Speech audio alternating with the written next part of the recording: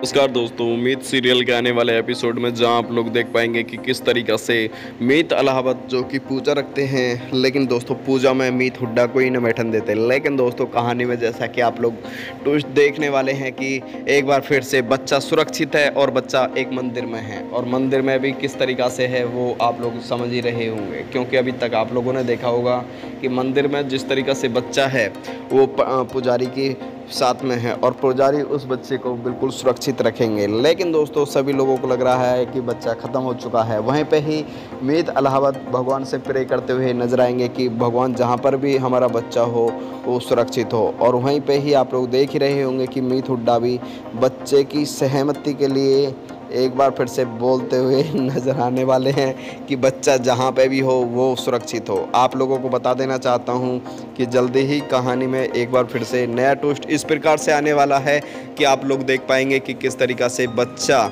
सुरक्षित है। लेकिन दोस्तों, घर में से जल्दी ही बर्फ़ी देवी की बेटी भी निकलने जा रही है। क्योंकि घर में से बर्फ़ी देवी की बेटी इस तरीक़ा से निकलेगी, क्योंकि बर्फ़ी देवी की बेटी को निकालने के लिए अब मित हुड्डा एक नई चाल चलेगी।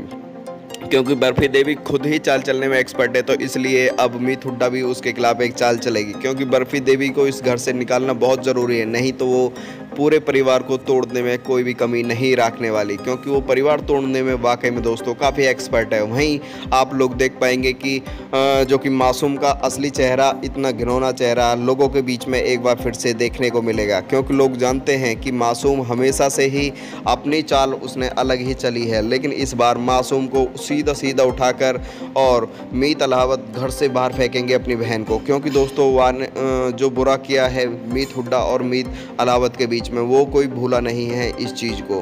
तो आप लोगों से हाथ जोड़कर अनुरोध करूँगा, चैनल को सब्सक्राइब करने के बाद में वीडियो को लाइक करें एंड कमेंट करके आप लोग मेरे को ज़रूर बताइए। Thank you.